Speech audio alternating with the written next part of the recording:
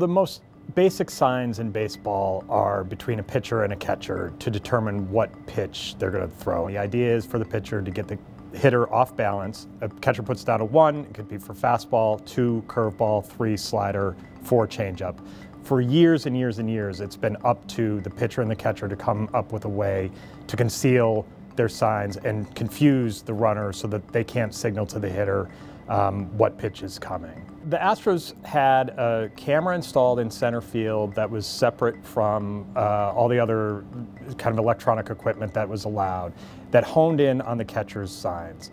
They brought a video monitor much closer to the dugout where players could go back and look at it. If a catcher was saying, um, we're going to use our second sign. So he puts down a one, a two, and a three. The only one that matters is the two.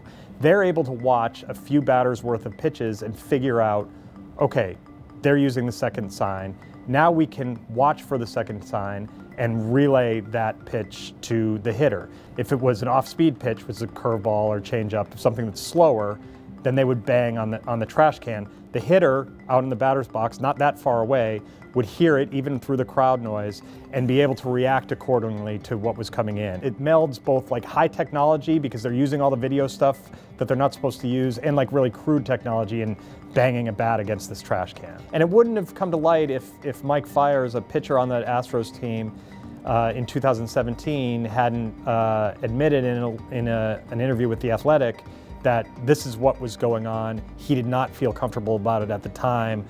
A couple years removed, he thought it was important to tell his new team, we're playing Houston, this is what they're up to.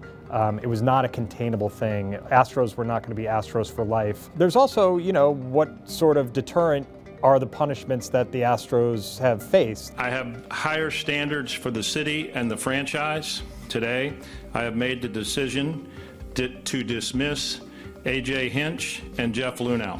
That 2017 World Series championship is also tainted in the minds of pretty much anybody in baseball. It is very clear that baseball is putting it on the management of these teams to oversee their dugouts, their clubhouses to make sure that they're not cheating because their jobs are on the line. I mean, there's so much so many ways to look at what cheating is in baseball. The scandal that defined uh, the last era was um, performance enhancing drugs and how that allowed individual players to break records. Baseball has always been a sport about numbers. It really treasures its numbers. But this sort of like searching in the margins and at the edges for these advantages is really kind of a newer development.